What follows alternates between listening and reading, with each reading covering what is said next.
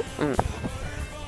Guys, here's how you guys can earn money from playing Fortnite. So, you can either go in a cash cup, and then you can you can pl place high in a cash cup like this one or something like that and you can earn money from that or you can have a career or you can have a support career code which is actually really easy to get once you qualify for a support career code Fortnite pays you for people who use your code and buys and buys thing in the other shop. So that's how you can um, uh, earn money while playing Fortnite. But you can you can also do um, you can't do wagers. I was gonna say that, but you can't do that no more. But yeah, it's pretty easy, pretty pretty easy. So if you want to play Fortnite but get paid from your favorite game, then that's how you can do it. Play cash cups or grind to get supporter code. Once you get a supporter code, then boom, there you go.